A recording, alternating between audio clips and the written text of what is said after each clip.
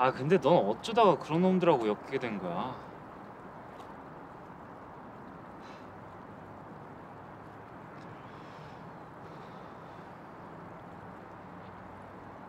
내가 옛날에 발레 파킹 알바를 하다가 어떤 양아치 같은 놈 외제차를 긁어먹었거든.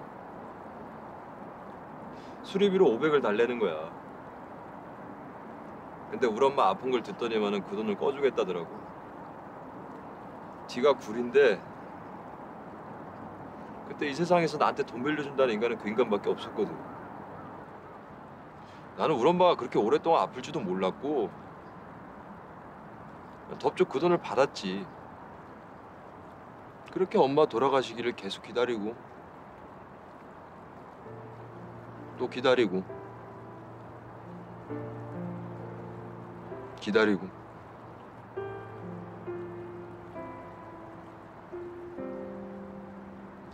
근데 이제는 어차피 다 망했으니까 그냥 좀만 더 옆에 있었으면 좋겠는데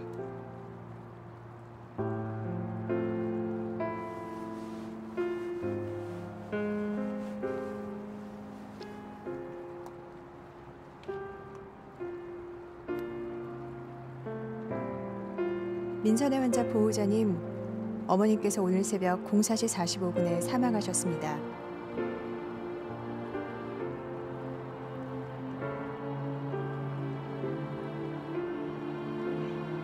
왜 하필 이런 날 가냐? 갑자기 그게 무슨 소리야?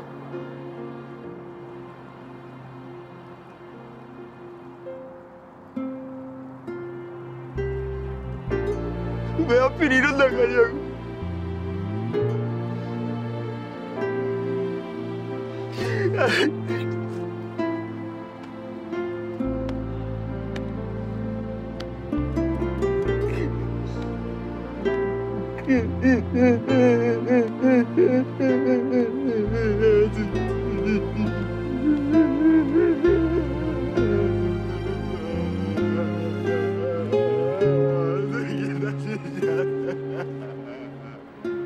나머지 돈 5천이요.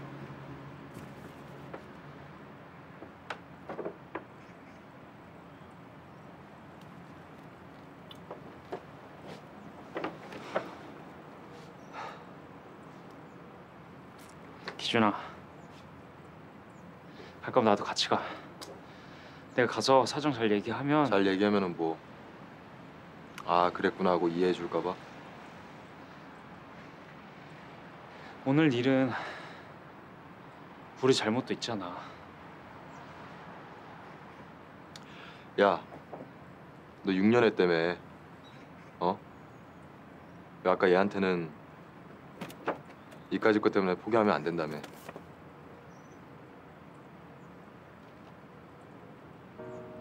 하... 내가 포기를 해봐서 아는데 그 진짜 연락 아깝거든. 그러니까 걔나 엄한 일에 끼어들어서 인생 망치지 말고